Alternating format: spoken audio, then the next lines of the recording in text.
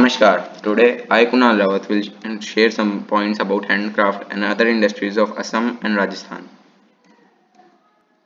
Let's talk about Assam's handcraft industries. Assam is known for its silk and main industries, mainly in crafting industry. Assam produces silk like pat and muga silk. Also, Assam is popular for its weaving industries and also pottery. Weaving like making baskets and trays from cane and bamboo. In addition, the terracotta products of Assam are also good examples of beautiful crafts. Handloom, jewelry, bamboo and cane products, brass and bell metal crafts are other handcraft industries. Now let's talk about Assam's other industries. Assam is also famous for its tea gardens. Tea are grown in estates here. Chemical and fertilizer industries has also supported economy of Assam.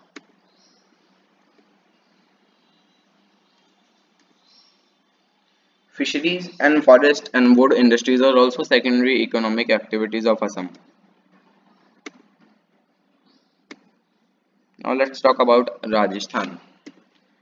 Not only within India but also in other countries, Rajasthan is famous for its handicraft work, paintings, blue pottery, stone carving, wood and sandalwood works, etc. are things which Rajasthan is famous for. Rajasthan produces some very fine quality of textiles in lovely colorful fabrics. Bandhej is one of the gorgeous forms that portray the rich culture of Rajasthan. In jewelry, Meenakari is one of the most attractive and popular forms. Now for Rajasthan's other industries. Among other private sector industries are cement, ball bearings, sugar, caustic soda and other chemicals. Main cement producing company is Ambuja Cement Limited. Heavy industries consist of copper and zinc smelting and the manufacture of railways rolling stock. The other main industries of Rajasthan include textile, rugs, woolen goods, vegetable oil and dyes.